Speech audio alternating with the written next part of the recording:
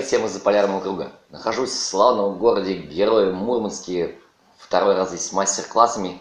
Сейчас уже раннее утро, и мне уже скоро пора на самолет. Два дня прошли крайне интенсивно.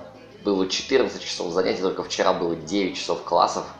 Я, честно говоря, очень устал. С одной стороны, с другой стороны, я очень рад, что у меня действительно есть интерес. А, и не просто интерес а, к танцам, да, а интерес покопаться в истории, в культуре, в технике, фольклорной технике и так далее, и так далее. Очень здорово.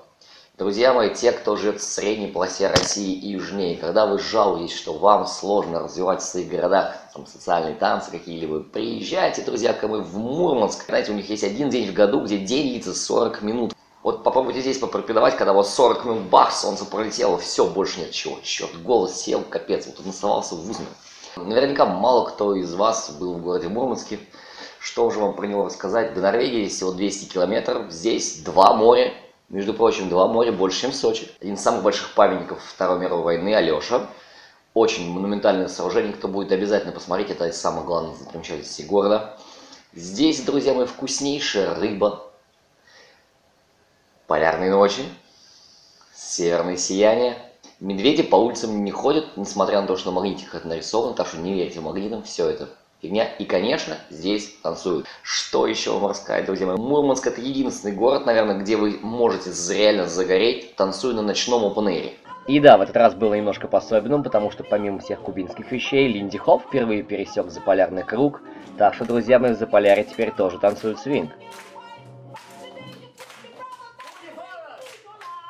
Жители Мурманска, танцоры Мурманска, вы просто герой, и город ваш герой, наверное, может быть даже поэтому так и называется, потому что вы совершенно работаете в таких условиях, от которых большинство из нас просто загнулись бы. Но я очень рад, что социальные танцы и сальса и другие у вас живут, что они у вас развиваются, что вы танцуете. Это замечательно. И спасибо вам, что вы здесь работаете, танцуете, получаете это удовольствие, интересуетесь. Было очень здорово. Довольно часто многим из нас приходится летать через Москву. И когда пересадка занимает больше двух часов, приходится думать, где бы перекусить. Выбор заведений, конечно, в аэропорту есть, но вот цены начинаются от 500 рублей, а если еще и чашечку кофе захочешь, то чек может довести аж до 1000. Мало кто знает, что в любом аэропорту есть столовая, где обедают сотрудники, и она не закрыта. Более того, они уже привыкли, что часть путешественников о них знает. Так что вперед.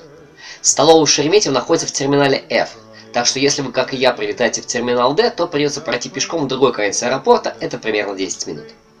Для этого, не заходя в зону вылета или выйдя из нее, выходим и поворачиваем налево и еще раз налево к лифту, на котором поднимаемся в главный зал терминала D. По указателям идем в терминал Е по длинным коридорам и переходам. Попав в терминал Е по указателям, идем в терминал F, опять же минуя несколько коридоров и переходов. Свернуть там особо некуда, так что заблудиться сложно. Выйдя в зал терминала F, встаем лицом к табло и смотрим левее. Там вы увидите лифт. На нем надо подняться на четвертый этаж. Выйдя из лифта, налево будет ресторан, а направо та самая столовая. В столовой две раздачи. Слева для туристов, справа для сотрудников. Там дешевле и меню побогаче.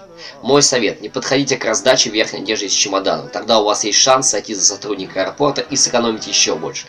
Я же об этой фишке не знал, так что мой обед, состоящий из большого куриного филе в панировке и картошки по-деревенски вместе с компотом, обошелся мне в целых 200 рублей. Для сравнения, хот-дог в зоне вылета терминала D стоит 290.